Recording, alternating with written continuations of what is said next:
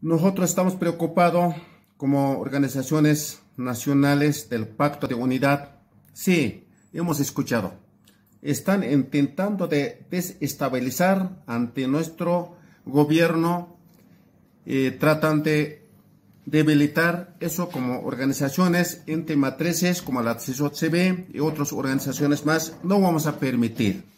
Eh, sabemos nomás, siempre hacen una cosquillada ¿no? Cuanto nosotros también estamos organizándonos para poder la, un cabildo, un cumbre a nivel nacional, ¿cómo se lleva? Por eso nosotros, una vez más, desde aquí, eh, queremos decir a la población boliviana, nuevos, nueve ejecutivos departamentales, esos eh, provinciales y diferentes departamentos de Bolivia.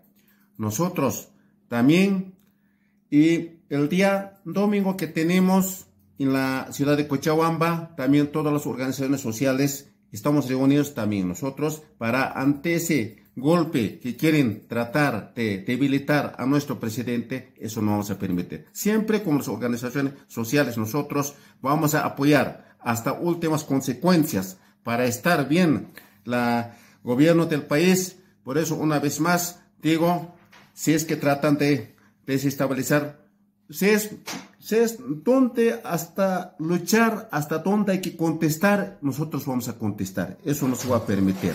En los varios momentos han querido desestabilizar aquellos años. Basta.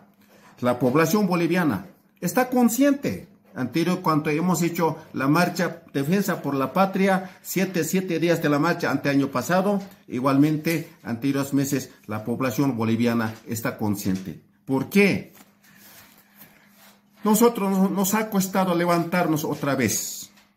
Nos han golpeado, nos han saqueado arca del Estado y otra vez quieren hacer, no van a poder.